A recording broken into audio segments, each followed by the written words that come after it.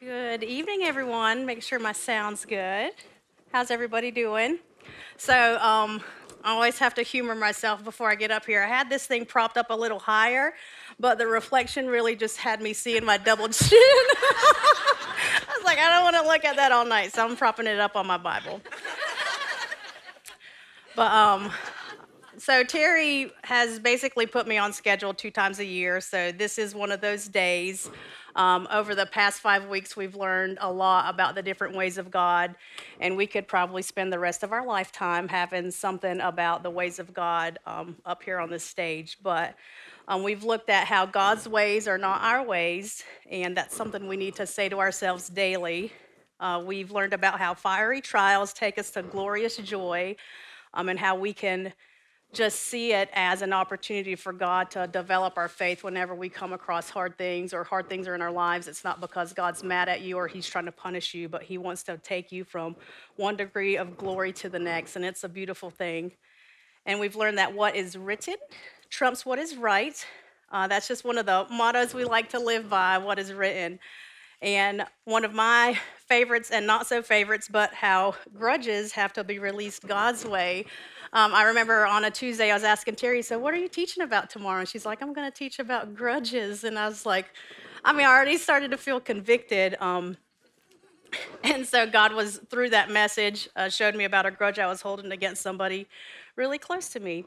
And of course, last week we learned that the way to life is death, and Terry spoke about surrender. So, this time of year, usually like January through March is just always a special time to me because about six years ago in 2017, um, I was at the end of myself.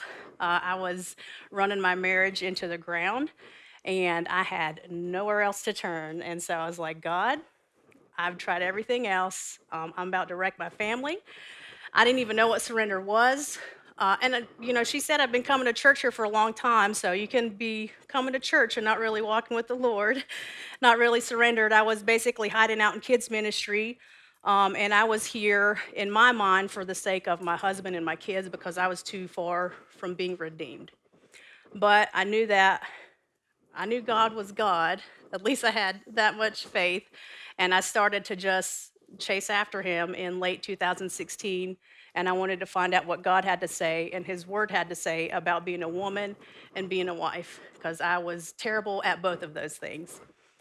And so that led, and I didn't come to women's. Um, Terry was here not that long at that time, but in my opinion, like women were catty and gossipy, so I didn't want anything to do with the women's ministry. And my son was really young at the time, so I always used that as my justification not to ever come to women's ministry. Um, but I knew in some of the studying I started to do in my what I call now my surrender journey, um, some of the things that I would read, especially for those that might have troubles in their marriage, is that you need the accountability of fellow Christian women, not men. Don't go talking um, about your marriage problems to another man. Talk to other women and talk to God. And so by learning that, I knew that I needed to I needed to start coming to women's and someone had shared on Facebook, uh, Terry's starting a new teaching in January about how to be a woman. I was like, oh, well, look at that. That's what I'm studying. and uh, I remember, because I had this book and it was like, where to find it in your Bible. And I was highlighting every verse that it said about woman and wife. And one of the passages was in Titus. And I remember highlighting it, and I thought to myself, I said, I've never even heard of Titus. Who is Titus? I've never heard this book of the Bible. And so I went to women's, and Terry opens up, and she said, oh, We're going to be talking about being a woman. I'm going to be teaching out of the book of Titus. And uh, I, I was like, Ooh, Holy Spirit, I think that's what that is. Um, and so, just through that teaching, through your faithfulness, uh, God absolutely wrecked my world. And you were teaching about surrender. And that's where it all began for me. And six years later, I'm only six years old in the Lord. so, a lot of grace um, I've had to give myself over the past couple years as I've learned to grow and walk with Him. But it's just been an amazing journey um, to just fully put it all in into God's Word. And He's opened up the opportunity for me to come on staff here. And it's just for me to be in front of you, beautiful ladies, and just to share, you know, what I've learned by walking with God. I'm not some professional speaker or anything like that, but I love God and I love His Word. And if there's anything that I want, is for you guys to feel the same way. So, um, let me pray real quick and then we'll get started. Dear Heavenly Father, God, just thank you so much for this night. Thank you for every soul in this room. I thank you for the word that you've given me for each and every woman here in this place, Father God. I pray that it would just go forth and pierce hearts tonight, Father God. Let nothing be held back from your word, from your purpose, from your truth, from your love, Father God. You love each woman in this room and you desire for them to come closer to you, to draw closer to you, and to surrender their all to you, Father God. I pray that you would just equip me and flow through me like only you can. I love you, Lord, and praise you. In Jesus' name, amen. All right, so we've spent a long time, well, five weeks. That's a pretty long series for Terry, but I'm sure she could talk about the Lord forever. Um, it's one of my favorite things to do with her here on staff. We don't get many opportunities to do that, but talking about scripture always just brings us a lot of joy. And we've talked about the ways of God, and they're beyond our, our comprehension. Romans 11:33 says, "Oh the depth of the riches both of the wisdom and knowledge of God, how unsearchable are his judgments and his ways past finding out." The ways of God are genuinely otherworldly. They are beyond anything that we can comprehend, and I'm completely okay with that. There's freedom in allowing God to be God in our lives. When you get to know his heart and his character and his sovereignty, which we will spend our entire lives getting to know if we choose so, it's genuinely freeing. And I knew Terry talked about surrender last week, and I was kind of thinking I sort of wanted to talk about that too. But when I heard like she was talking about it, I'm like, well, maybe that's not what God wants me to talk about. I don't know. But I always pray over what God wants me to uh, share with you, ladies. And then I know that uh, surrender is super near to my heart, and it's not a one time thing. Uh, just because I surrendered my life six years ago doesn't mean it's been easy street. It's actually been really hard. Um, but it's a daily decision to die to yourself. And then this morning, in my utmost for his highest, the title was The Surrendered Life. And uh, this is what he says He says, to become with to become one with Jesus Christ, a person must be willing not to only give up sin, but also to surrender his whole way of looking at things. Being born again by the Spirit of God means that we must first be willing to let go before we can grasp something else. The first thing we must surrender is all of our pretense or deceit. What our Lord wants us to present to Him is not our goodness, because we have none, our honesty, we're a bunch of liars, and or our efforts to do better. Um, that is just going to exhaust you and trying to do good works to earn God's favor. He calls them filthy rags, which is translated as menstrual pads in the Old Testament. That's how disgusted he is with us trying to earn favor through our works. I lost my place. So he doesn't want us to us, present any of those things, but our real solid sin. Actually, that is all he can take from us. And what he gives us in exchange for our sin is real solid righteousness but we must surrender all pretense, which is all assumption or natural inclination, just the way we would think about things. So we need to surrender all of our assumptions, our natural inclinations that we are um, that we are anything, and give up all claims of even being worthy of God's consideration. Once we have done that, the Spirit of God will show us what we need to surrender next. Along each step of this process, we will have to give up our claims to our rights to ourselves. Are we willing to surrender our grasp on all that we possess, our desires, and everything else in our lives? Are we ready to be identified with the death of Jesus Christ? We will suffer a sharp, painful disillusionment before we fully surrender. When people really see themselves as the Lord sees them, it's not the terribly offensive sins of the flesh that shook them, but the awful nature of pride in their own hearts opposing Jesus Christ. When they see themselves in the light of the Lord, the shame, horror, and desperate conviction hit home for them. If you are faced with the question on whether or not to surrender, make a determination to go on through the crisis, surrendering all that you have and all that you are to Him, and God will then equip you to do all that He requires of you. So I want to teach all of you beautiful ladies about surrender too. Um, and instead of really focusing on the dying to self, which is definitely important, you can't have life in Christ without death to yourself. Um, I want to teach on the way of humility, the way we just humble ourselves before God, and it's a daily thing um, in living a surrendered life. And it's going to be a bit of a compare and contrast lesson, kind of like we did in school. If you're learning about something and you want to learn what humility is, so you have to kind of learn about something that maybe is not humility. Um, so, in order for, for us to know and understand humility and what that looks like in our own lives, we also must know and understand pride. Um, Proverbs 3:34 says, "He, God, mocks the mockers, but gives grace to the humble." Some translations say that he scorns the scorners. So, a scorner is a person who treats someone or something with contempt or mockery. A scoffer, a mocker is defined as someone who attacks or treats with ridicule, contempt, which is the feeling of which a person regards anything um, considered mean, vile, or worthless disdain or scorn. And James and Peter both reference this proverb. Um, James 4 through 6, or 4 6 says, But he gives us more grace.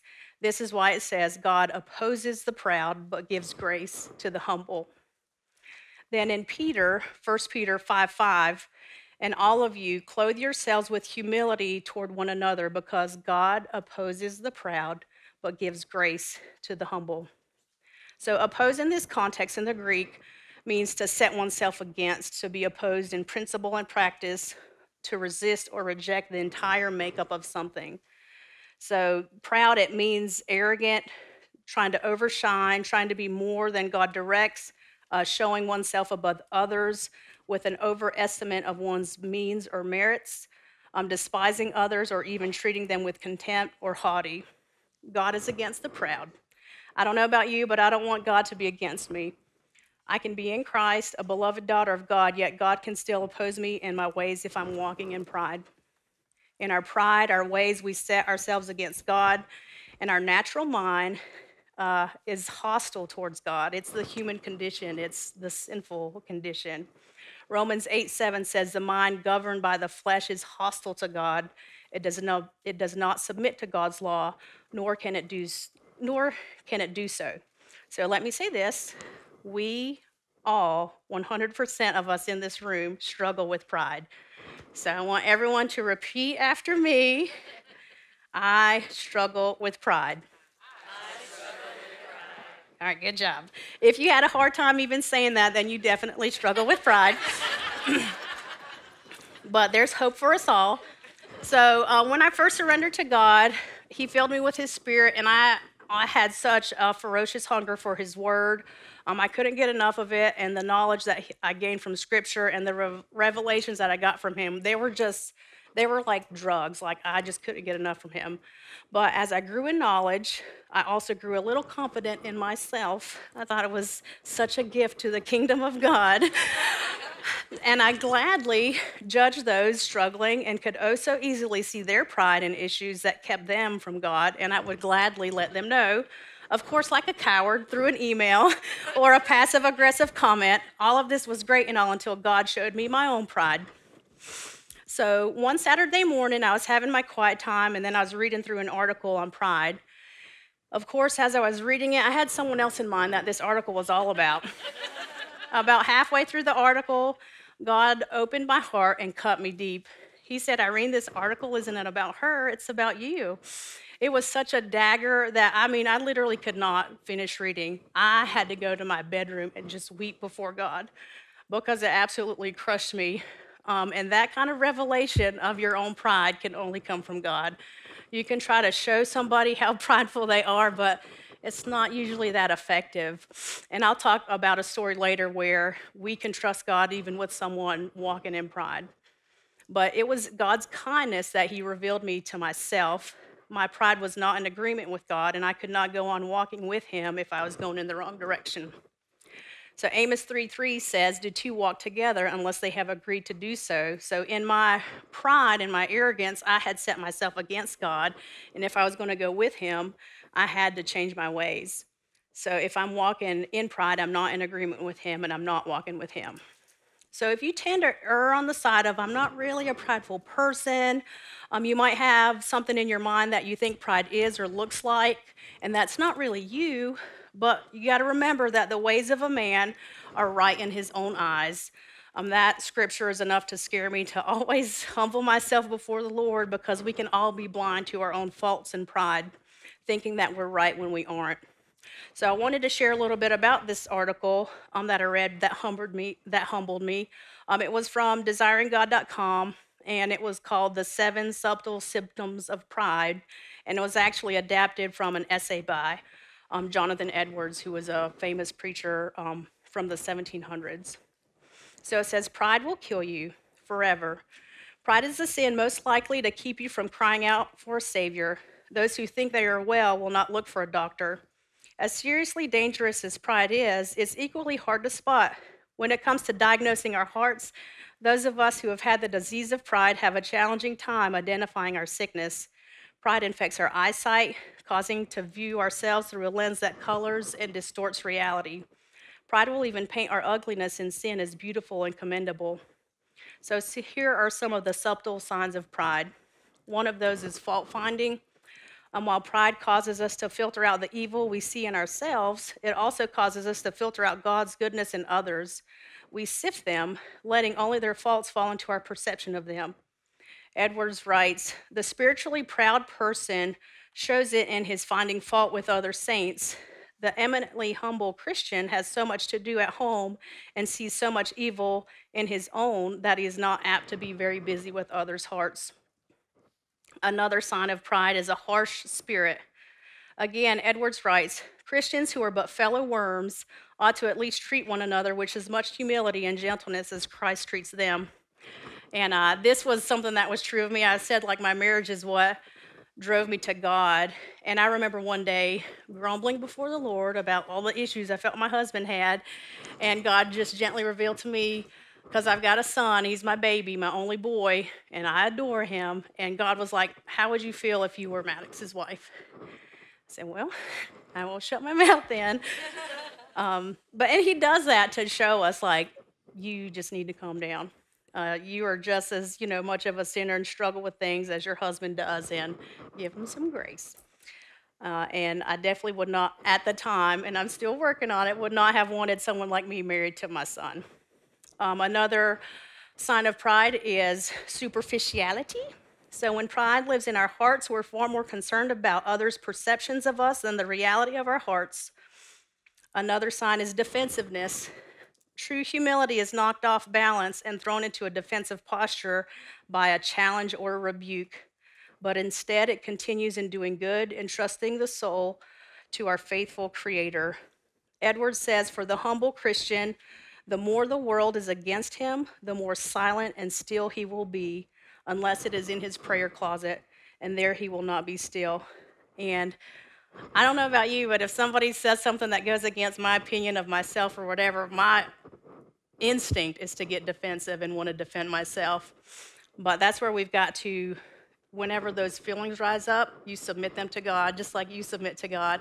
And they have to submit to Him as well. And you because it's not true. Like, usually your first instinct, especially if it's harsh or critical, that's not from the Spirit. You have to submit it and allow God to just teach you through that.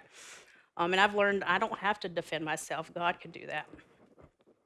And another symptom of pride is presumption before God.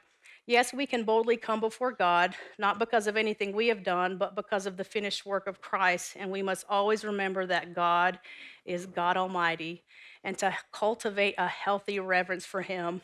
We can't let our pride fool us into being overly confident and arrogant before a holy God. And then also on the flip side, we have others that other, others of us that feel no confidence before God, which sounds like humility, but in reality, it's another symptom of pride. In those moments, we're testifying that we believe our sins are greater than His grace, which is not true. We doubt the power of Christ's blood, and we're stuck staring at ourselves instead of Christ. Another sign is that we're desperate for attention. Glory hug, anyone? Pride is hungry for attention, respect, and worship in all of its forms. Maybe it sounds like shameless boasting about ourselves. Maybe it's being unable to say no to anyone because we need to be needed. Maybe it looks like obsessively thirsting for marriage or fantasizing about a better marriage because you're hungry to be adored. Maybe it looks like being haunted by your desire for the right car, the right house, or the right title at work, all because you seek the glory that comes from men and not from God. Everything that we want is met in the presence of God. There is nothing that He can't fulfill in you that we try to get filled anywhere else. And we, well, we have to learn that. And uh, the last symptom of pride, which there's many more, this is just from the article, is neglecting others. Pride prefers some people over others. It honors those who the world deems worthy of honor, giving more weight to their words, their wants, and their needs. And I don't know about you, but I've pretty much dealt with every single one of those symptoms. If not currently, I've had a, I've had at some time. So what do we do? Um, it can be a little frightening listening to all of these symptoms of pride and thinking we've really just screwed this thing up and wondering if there's even any hope for us. Why do we even try? But because of Jesus, there is always hope. We're all works in progress. No one is too far gone from the grace of God, which we also desperately need. Remember, God opposes the proud, but he gives grace to the humble. And a humble person is simply this someone who depends on the Lord rather than themselves. It means being God reliant rather than self reliant. While that may sound simple, in our culture, it's not easy to live out.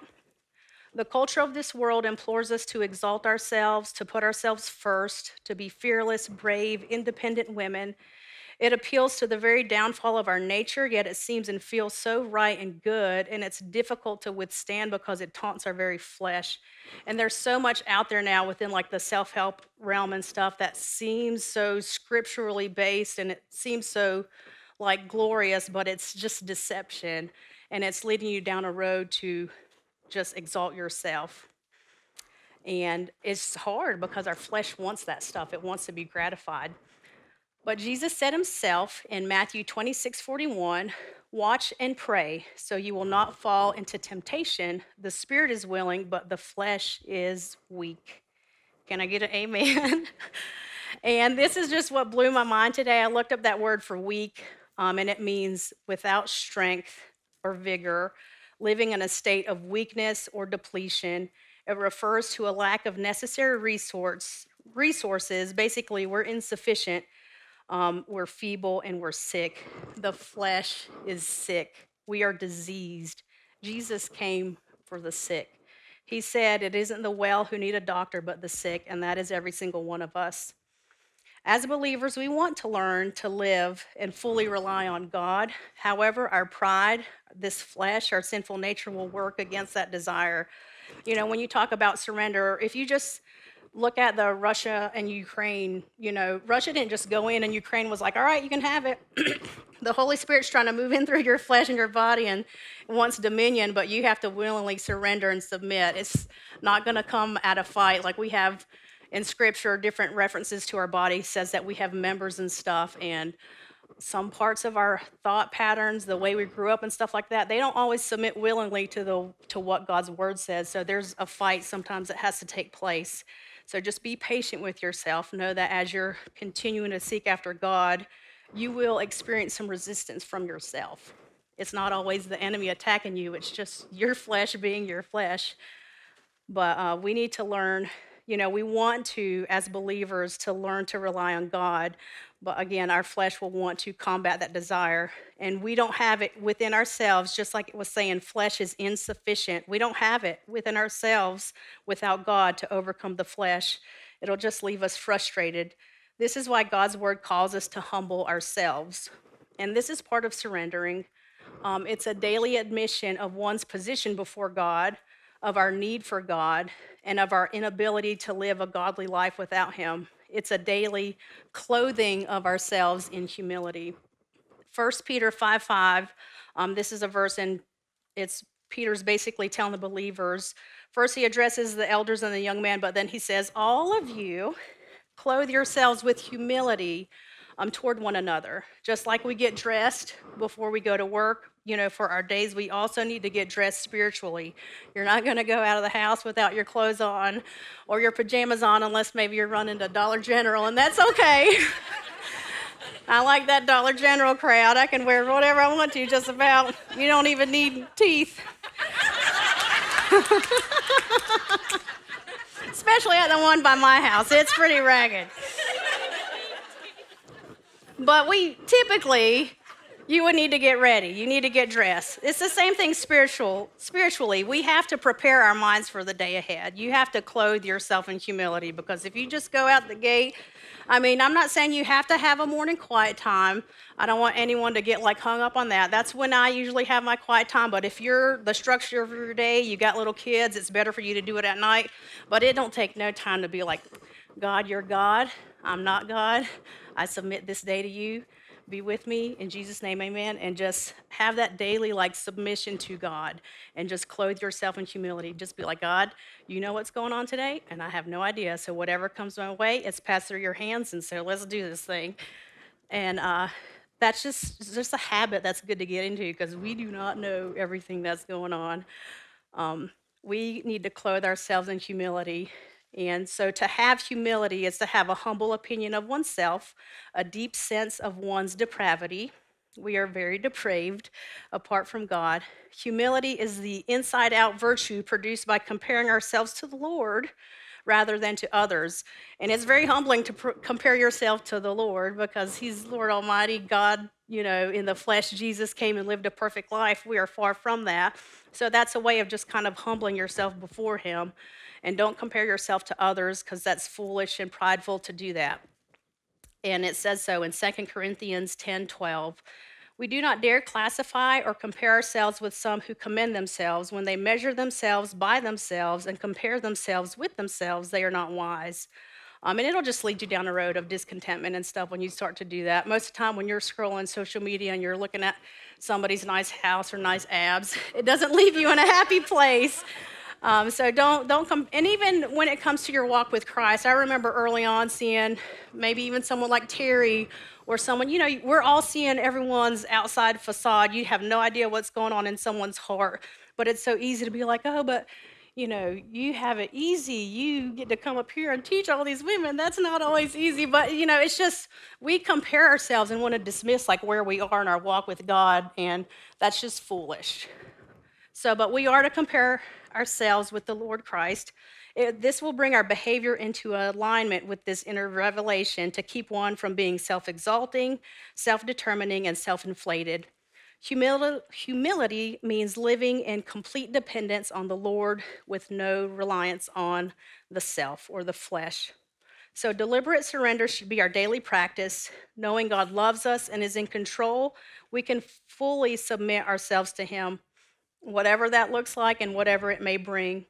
Humbling ourselves can be scary to fully give up control because we're some control freaks and place ourselves in the hands of God in all things, surrendering your marriage, surrendering your kids, your future um, to a God that you can't see. That's going to give you a little bit of anxiousness. It might make you nervous, but that's why Peter says, cast all of your anxiety on Him because He cares for you.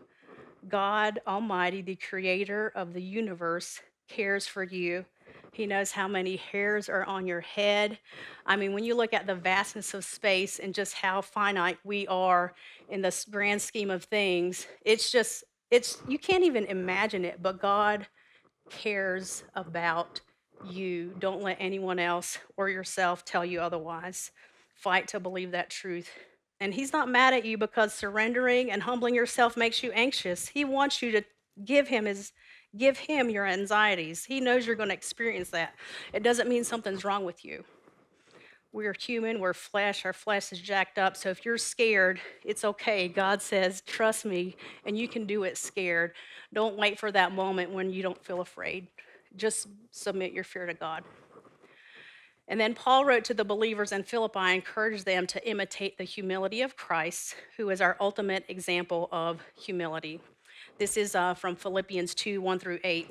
Therefore, if you have any encouragement from being united with Christ, if any comfort from his love, if any common sharing in the Spirit, if any tenderness and compassion, then make my joy complete by being like minded, having the same love being one in spirit and of one mind, do nothing out of selfish ambition or vain conceit. Rather, in humility, Value others above yourselves, not looking to your own interests, but each of you to the interest of others.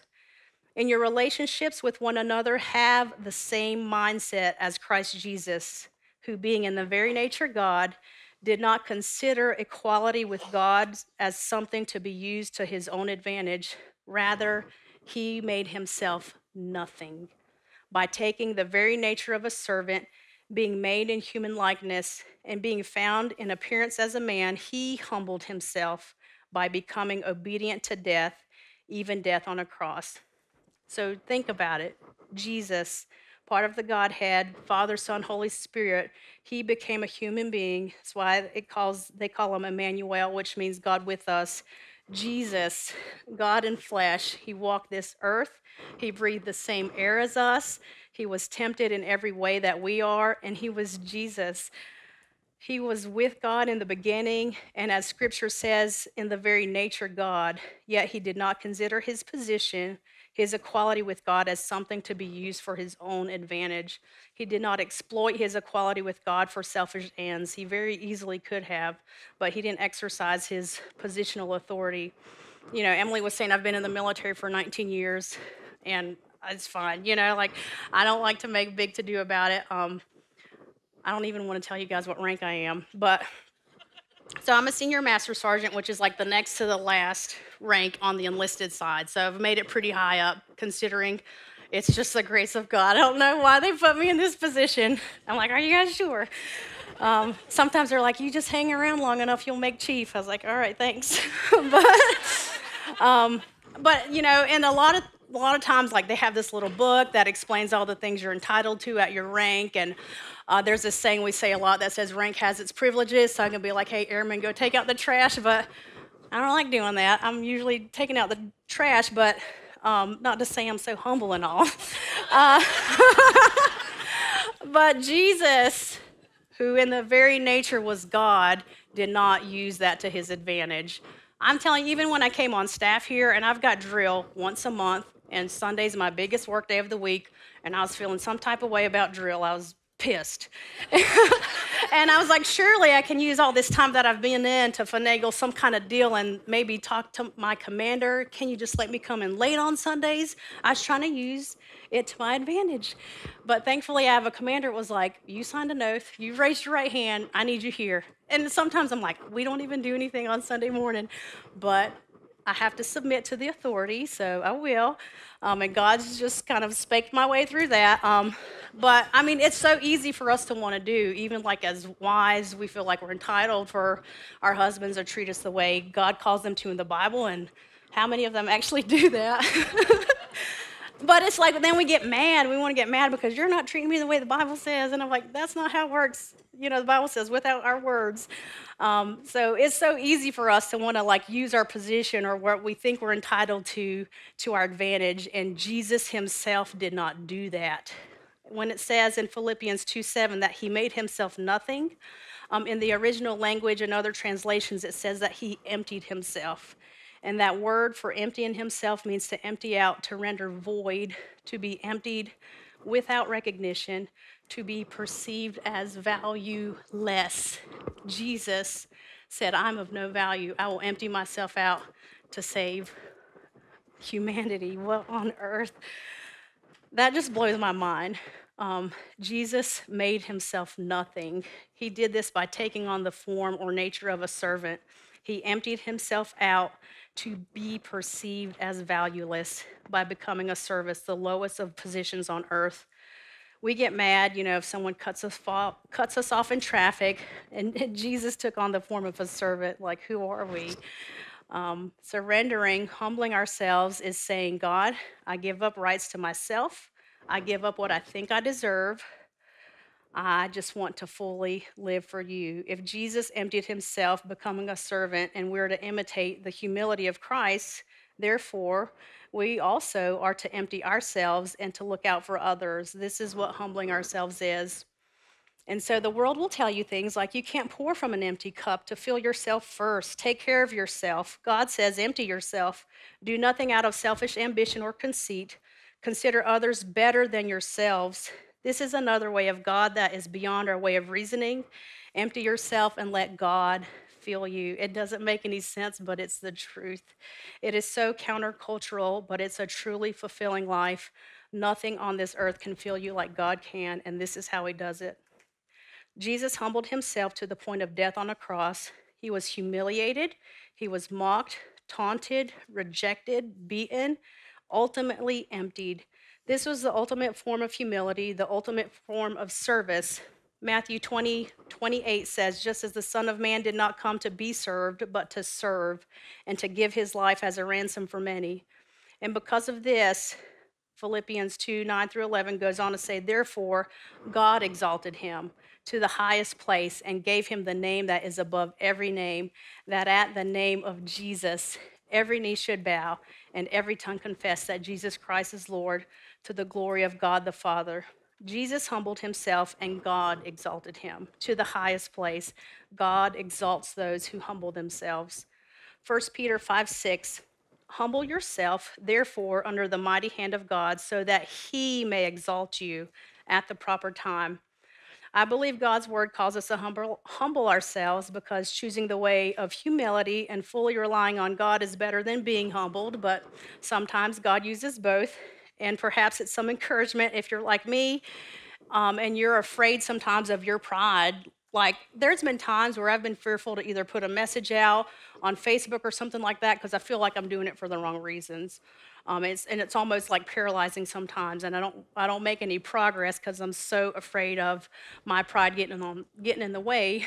But fortunately for us, God can also humble us, so we don't need to be stuck in a place of fear because we're so afraid of oh, am I doing it for the wrong reasons? You just go forward and trust that God is good, He is for you, and He will refine your motives if He needs to.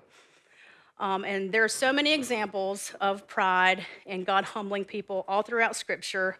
Um, but this one I've just recently been in the book of Daniel comes to mind, and then I'll close after this. So, King Nebuchadnezzar in Daniel, if you don't know the story, uh, I just encourage you to go in and read Daniel. Um, this is from Daniel chapter 4, which takes place after the fiery furnace. A lot of us might remember that if you grew up in church, Sunday school story you know, Shadrach, Meshach, and Abednego get thrown into the fiery furnace.